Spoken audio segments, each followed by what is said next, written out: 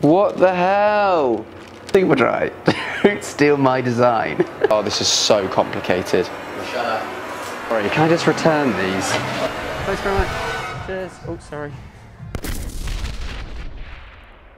This is me on a t shirt in one of the biggest retailers in the UK, and they have no idea. How did I do it? Let's give you some context. Fashion, fashion, fashion.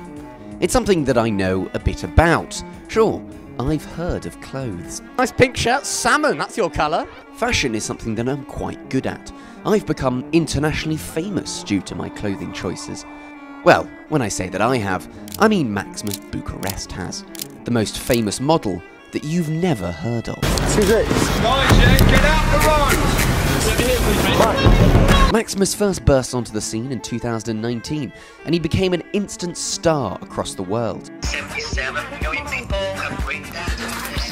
I mean, that's pretty big, isn't it? After his breakout at London and Paris Fashion Week, he continued to rise. Maximus was spotted in Tatler, and he also became the first model ever to get his own billboard campaign for free. There was a dark side to all of this, however, as it seems that Maximus Bucharest was being exploited. The fashion industry was taking Bucharest's designs and selling them for their profit. And let me tell you, he wasn't happy about it. Maximus, how do you feel about the, uh, the Shut up. So yeah, certain fashion brands around the world have been stealing Maximus Bucharest designs. Now, I am not one to call plagiarism without any evidence. Evidence is key, but oh my word, I do have some evidence. Let's, for example, take the Maximus Bucharest fragile t-shirt design. We've got some fragile packing tape. We put it on a t-shirt and we had some fun. Immediately after, a couple of days after, ASOS started selling this item, and uh, I've also been able to find um, some boots that have got the fragile packing tape on it.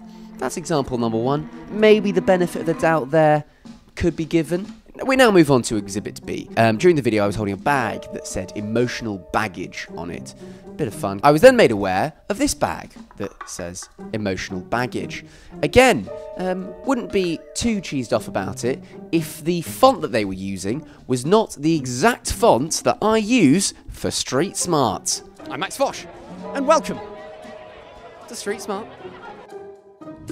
Now, the final culprit, this one's quite blatant. Um, it's around the packaging collar plastic thing that I had. Basically, we got plastic packaging, you get parcels that protect your package, wrapped around my neck, into a silly collar. It looked great. Um, but now, you can buy, for quite a lot of money, this.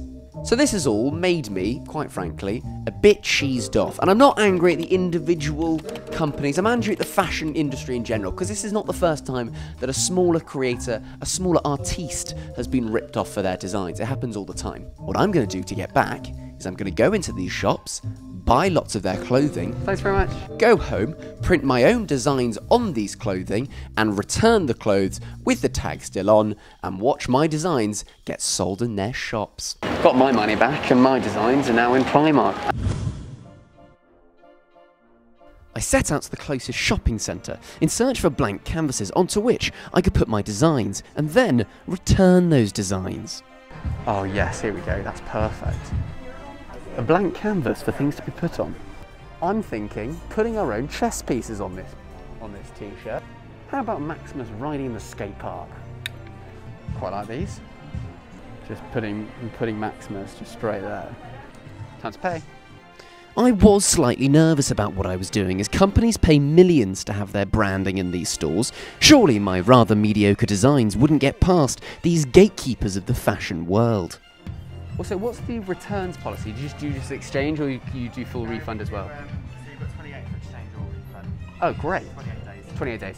My mind, however, was put at ease when I discovered the rather relaxed nature when it came to returns. Oh, this has already got bloody tomato ketchup on it. There is. I was just wondering whether that would that would affect the return. That'd be all right. So, if, so if someone came with that as the return, you'd be like, you just accept it. Okay. Okay. Thank you so much. Thanks very much. Cheers. Oh, sorry. Uh, oh, I need a receipt, don't I? Thank you very much. Cracking. With my goodies, I then mocked up some designs to go on those goodies. For Primark, I wanted to cross out a location on their t-shirts and replace it with Bucharest in Comic Sans. For H&M, I wanted to put a photo of myself on the t-shirt, and finally for Superdry, I wanted to write the message "Stop stealing my designs" in Japanese. Oh god, I'm going to have to cut out all the designs, aren't I? That's going to be a nightmare. As this was my first time printing designs onto clothing, I thought it would be prudent to have a test run. This was a very good idea. I'm just going to do a test print now. And just like that, don't steal my designs, coming out perfectly in Japanese. How the hell do I put on a t-shirt? Right, so turn the iron on. Tear off backing paper. Haha. Put the fabric on the hard desk. What the hell is transfer paper? Oh, this is so complicated. Iron is too short. One, two, three. I have no idea whether this is working. No way. No way. what the hell? Oh, don't do that. Yep, right. Operation Save the Iron is not going as well as hoped. Just gonna have to lose the iron. With the semi-functioning iron, things took a turn. Aha, this looks, this is a good sign. Yeah. Come on. Get in.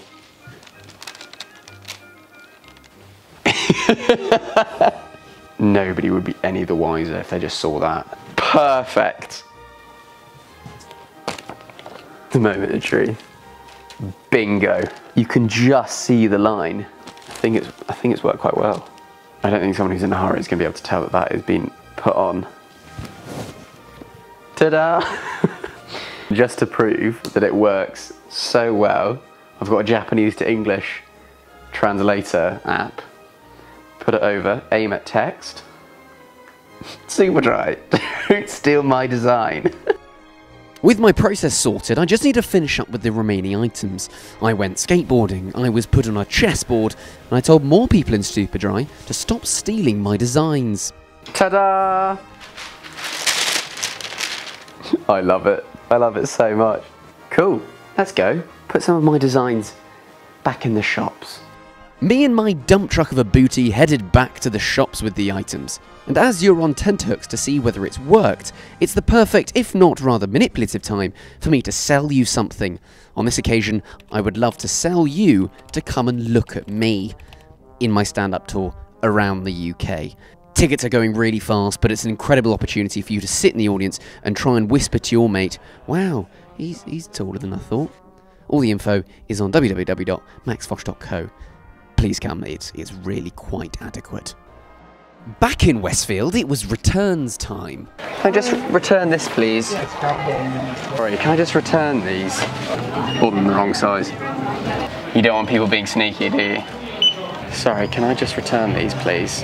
Refund item, 1998, Jersey Fancy, Jersey Fancy. Proof. Have a lovely day. Refund, two from two. They were gobbled back up by all the retailers, but that was only half the battle.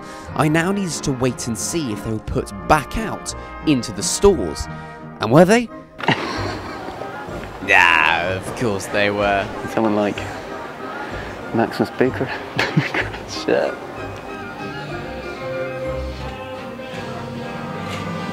Santa Cruz, no, Bucharest. It's Comic Sans.